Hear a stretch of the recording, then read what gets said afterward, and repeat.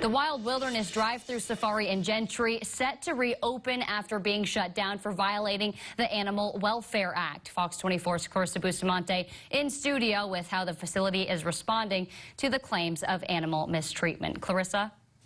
The Wild Wilderness drive-through safari was hit with a $75,000 fine after the USDA filed a complaint against the zoo's treatment of its animals. According to the zoo, it's been fighting the claims for a while, but decided to pay the settlement before it got more expensive.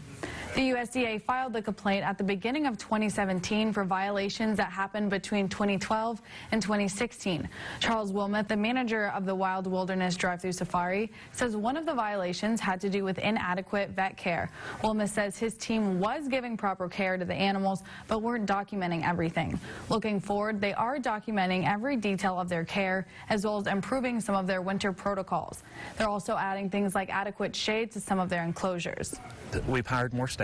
We have more volunteers and more people working for us so we can just make sure everything's covered. The safari has passed recent inspections and plans to reopen tomorrow after being closed for two months. In studio, Clarissa Bustamante, Fox 24 News.